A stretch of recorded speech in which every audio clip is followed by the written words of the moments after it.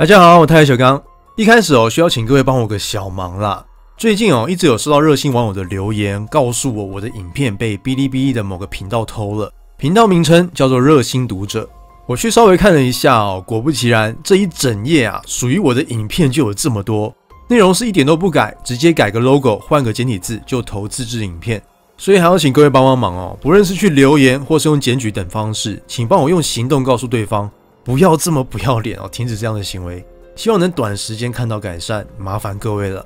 现在开始今天的主题，相信各位对催眠这个行为哦，一定都不陌生，至少都听过或者在电视上看过类似的表演。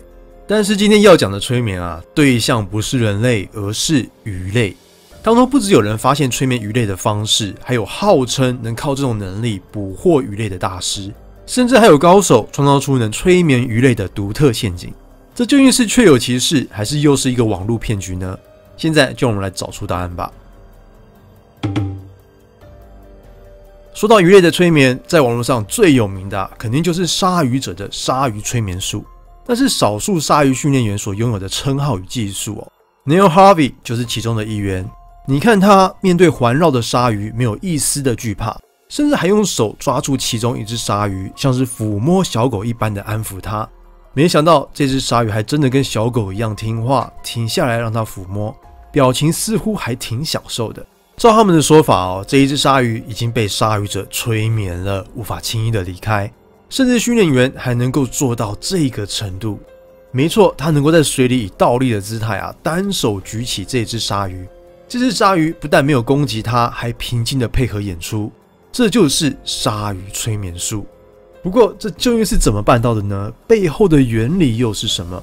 要了解这一切啊，可以先从最基本的鲨鱼催眠术开始了解，也就是将鲨鱼在水中翻面，肚子朝上。一旦进入这个姿势哦，原本好动的鲨鱼就会像是被催眠一般静止不动，任你摆布。事实上，不只是鲨鱼哦，许多节目里的动物催眠师都是用类似的手法将动物催眠。被催眠的动物有狗、青蛙、鸡、蜥蜴、兔子，甚至是鳄鱼，都能用这个独特的姿势控制其活动。不过，虽然我们人类常常会用动物催眠来形容这个现象，但是其实这和催眠呢没有太大的关系。这其实是动物一种名为 tonic immobility 强直静止的状态，是在动物碰到极端压力与威胁，例如碰到捕食者时会出现的一种反应哦。他们会有明显的暂时瘫痪，并对外部刺激没有强烈的反应。简单的说，就是装死啊。因为有些猎食者哦是不喜欢吞噬尸体的，所以这个状态确实能提高动物的生存率。许多的生物，包括昆虫、两栖类、爬虫类，甚至人类，都被认为有这种反应行为。而这种将动物以侧面或背面的仰躺姿势固定啊，能强制许多动物进入这个状态。当然，不同的动物哦，有时候进入这个状态的方式不太一样。例如小龙虾，就是透过不断摸头的方式，让它感受到来自外部的威胁，就会进入这个状态。虽然方式不太一样哦，不过原理都是相同的。做出能让这些动物感受到捕食者威胁的动作，就能让他们进入这个状态。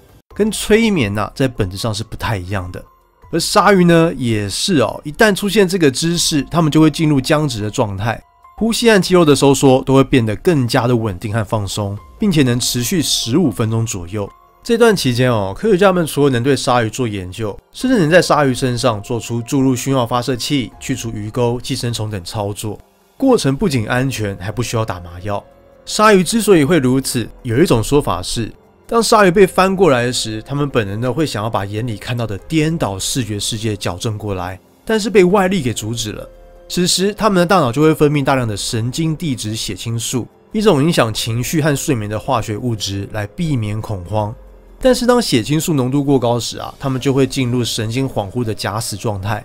一旦翻回了身，又会恢复正常。有部分学者认为，鲨鱼之所以会需要这个机制哦，主要的原因并不是为了躲避天敌，而是因为交配的需要。因为他们发现，雌性的鲨鱼似乎反应比雄性鲨鱼更快。这对一心想要繁殖下一代的雄性来说，可不是件好事。所以这些雄性鲨鱼很多在交配时啊，不仅会用嘴咬住雌性，有时还会直接将其身体翻转过来，强制雌性进入强直静止的状态，这样就能让整个交配的过程顺利不少。对鲨鱼这个族群啊，是有利的机制。不过同时，有些动物啊，也巧妙地利用这个机制，占到了不少便宜。例如，曾经有观察到虎鲸和海豹在狩猎鲨鱼的同时，刻意的将鲨鱼身体翻转过来，让其进入静止的状态。此时的鲨鱼再凶猛啊，也只能慢慢的等着被料理，使这个机制变成他们的弱点。不过，你们应该都有发现哦，这个有“鲨鱼者”称号的训练师，最一开始使用的方式似乎并不是如此哦。他仅仅是用手抚摸鲨鱼的头部，就让其静止不动，这是为什么呢？其实他使用的哦是鲨鱼另一个较少人知道能进入强直静止的方式，关键的部位就在鲨鱼的鼻尖。原来在鲨鱼的鼻尖啊，有数百个叫做劳伦氏胡腹的特殊毛孔，这些毛孔是鲨鱼的电感受器，它能够透过这个部位哦来感知猎物的运动所发出的电流信号，以判断猎物的位置。但是训练师要怎么运用这个部位来进行催眠呢？答案就在他的手套上。这个手套哦，不是普通的手套，而是不锈钢的金属手套。这些训练师在进入鲨鱼群前啊，都会身穿整套的不锈钢锁子甲与手套。除了能避免意外发生以外哦，他们也能用这个金属手套，透过触碰、抚摸鲨鱼鼻头的方式，使其进入强直静止的状态。学者们相信，用金属手套触碰该部位时，能产生特殊的催眠电流，同样能使鲨鱼进入暂时麻痹的状态。这就是为什么这只鲨鱼会这么乖巧，还能配合训练师做出这种高难度动作的原因了。不过，这两种方式并不是唯一能催眠鱼类的技巧哦。事实上，在国外也有多名催眠鱼师，还号称能使用催眠术捕获大量的鱼群，但使用的方法却让这些训练师截然不同。这是真的吗？在我们见识泰国催眠鱼师前，请先让我介绍这一期全新的会员影片。和伴侣融合身体，以及射出头部狩猎敌人的怪物，在我做生物影片这么多年的时间里哦，总有几个生物是让我特别印象深刻的。这两个生物啊，就是其中之二。第一个生物是全世界唯一被认证百分之一百对另一半忠诚的生物。他对另一半哦，不只是有超级专一的爱，而且一旦看上对方，他还会直接跟对方的身体融合在一起，身体合而为一，以展示他们的爱。这样畸形的个体哦，不止在电影中有类似的呈现，日本最猎奇的博物馆里也找得到它。当然，这个博物馆会被视为最猎奇的博物馆，不是没有原因的。里面除了有长于人体八点八公尺长的怪物，还有各种令人吃不下饭的寄生生物。这一次哦，也会全部介绍给各位。除此之外，这个被网友称为“爱莲”的生物啊，正是我要介绍第二个让我惊奇的怪物。原因很简单，因为它能够射出自己的头狩猎猎物。不要说是我喽，连发现它的学者们都觉得不可思议。它们究竟是怎样的生物呢？想要知道的话，快点点选右上角的会员影片吧。现在继续我们的主题。在泰国，有一群人号称自己拥有能控制鱼群的能力。只要他们一出手，这些鱼在水中便会乖乖的躺好，甚至是浮出水面，让他们轻松抓取果腹。为了一探这一群泰国催眠鱼师的真相，台湾还有行脚节目特意去拜访了其中一名高手。没想到，确实如他们所说，这个野外小池子里原本活动力惊人的鲶鱼，在经过这名催眠师发力后，却变成主持人手中乖巧的宠物。不仅在水中被捕获的时候没有挣扎，连被放上岸后也没有活蹦乱跳，试图回到水里。这究竟是怎么一回事呢？其实这群鱼师使用的方法哦，是许多地区原住民都会使用的，包括台湾也不例外。在台湾，许多原住民，包括阿美族、卢凯族，都有从其祖先流传下来一种独特的技术——鱼藤捕鱼法。每当到了捕鱼的季节，族长便会召集村里的年轻人一起挖掘一种特殊的藤本植物——鱼藤。它之所以会有这独特的名字，不只是因为它跟捕鱼有关哦，同时也因为它的茎叶带有鱼腥味，才有这样的称号。由于他们所要挖取的部位是深入土中的根部，所以往往需要由精壮的年轻男子来进行挖掘。在取得一定数量的鱼藤根部后啊，族人会用手衡量树根的长度。并将其分成数等份放置在叶子上，这样的数量哦就是一个单位。而每次进行捕鱼大概需要十个单位，并可以根据水量的多寡进行调整。在取得足够数量的鱼藤后，年轻人会到河边开始鱼藤捕鱼最重要的步骤——击打鱼藤。没错，因为他们需要的啊正是这个植物内部的汁液。他们会将根部敲碎，挤出树枝后呢，混入一定的河水，完成这个步骤。这正是鱼藤捕鱼催眠鱼类的秘密。原来鱼藤是一种被原住民发现类似迷幻药的植物，它们的汁液在进入水中后啊，能从鱼鳃进入鱼体，并抑制鱼体内的立腺体产生能量，导致鱼出现缺氧性休克，也就是暂时的昏迷现象。所以，一旦村民将这些准备好的鱼藤丢入水中后啊，吸入汁液的鱼就会从藏身的石缝、草丛浮出水面，甚至连在游泳的时候都会像是喝醉酒一样哦，昏昏欲睡，移动缓慢，难以平衡。此时，村民就能够不费吹灰之力的轻松捕获这些鱼。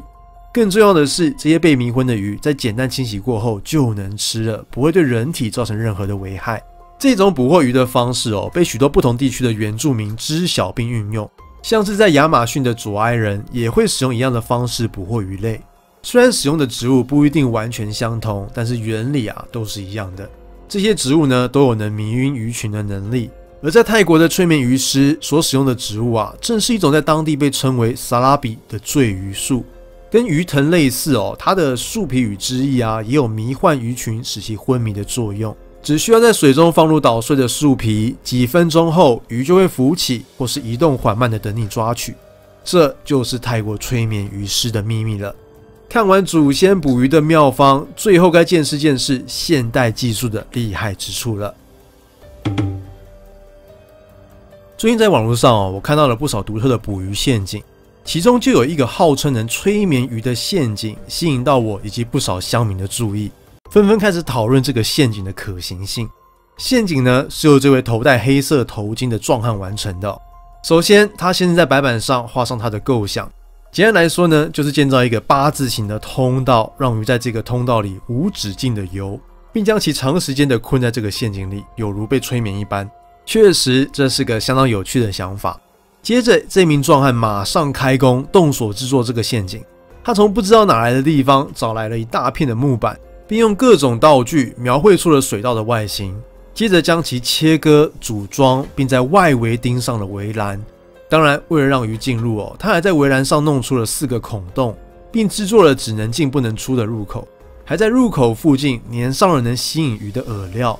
之后，他将水道内部用石头填满，让它看起来就像是真实的水道，同时也丢入饵料，让鱼能够在里面觅食。看起来啊，好像是万事俱备了。但是要怎么让鱼进到这个陷阱里呢？他聪明的选择在急流的下方放置陷阱，这样就能让顺着水流而下的鱼群顺势的进入这个陷阱。那么成果如何呢？答案就是短短不到一天的时间就有满满一桶的鱼，效率确实不错。但是针对这样一个陷阱的影片啊，网友们讨论的重点并不在于催眠两个字，而是这个陷阱是否真的这么有效。在这边说说我的看法吧。其实这个频道我在几年前就有注意到了，也看了不少他的影片。其中最让我印象深刻的哦，就是他用垃圾桶捕鱼。意外的是，他并不是把鱼诱捕到垃圾桶里哦，而是把垃圾桶固定在河中，再把自己藏在垃圾桶里，并在外面布下捉鱼的鱼钩、鱼饵与铃铛。等鱼儿上钩，铃铛响起时啊，他再从垃圾桶中冒出头把鱼钓起。真的是超级有创意的钓鱼方式呢。而他的其他影片呢，也大多是如此哦，都是使用或是制作平时没啥看过的道具或是陷阱来捕捉鱼类。这样的陷阱真的抓得到鱼吗？老实说，看了他很多陷阱的设计原理哦，我还真的觉得捉得到。但是能捉到这么多的鱼吗？这边我就必须打上问号了。以前面那个催眠陷阱来说好了，你如果仔细看完完整的影片的话，就会发现它并没有拍摄到鱼类被陷阱捕捉的那一瞬间。而是直接呈现有一堆鱼在陷阱里面的画面，而且从装在桶子里的鱼被撒出的画面，你可以发现哦，这些鱼竟然都是同种鱼，而且大小还都差不多。看到这个画面哦，就能合理的怀疑这些鱼是买来的可能性应该不小了。以这个陷阱来说，要捉到鱼吗？确实有可能，但是也有不少可以改进的地方，像是鱼的入口是否太小，入口的数量不够多。以及似乎并不是所有的鱼都有力气能打开这个入口，还有像是围栏的高度过低，鱼可能可以跳出等等等，都是这个陷阱的缺点哦。所以我认为这个陷阱要捉到如此多的鱼啊，确实有点困难，因此才需要买鱼，让整个影片有个好的结局。但是我还是必须为这位创作者说几句话哦。从我观看他的频道这一段时间以来，我认为他的频道的卖点啊，一直都是创意以及工艺，而不是在于高效捕鱼这件事上。他总是能用特殊的抓鱼想法与概念，创造出人们鲜少看过的陷阱，并实际运用到捕鱼上。或许这些陷阱并不像专业的渔民所使用的那般有效率，但所展现的创意与工艺，才是这些陷阱真正的价值所在。所以，这个陷阱是否真的能催眠鱼类，甚至是做到这么多的鱼哦？或许不用那么认真的看待。以上就今天的影片，喜欢的请给我个订阅，同时也千万不要忘记观看这一期全新的会员影片，和伴侣融合身体以及射出头部狩猎敌人的怪物。我们下次见。提醒各位，现在影片留言区已经开启喽，欢迎各位的留言。不过由于留言比较多哦，小刚会优先回复付费会员以及购买超级感谢、超级贴图的人。当然，你们大家的留言以及指教啊，我会尽可能全部看过的，请各位踊跃讨论吧。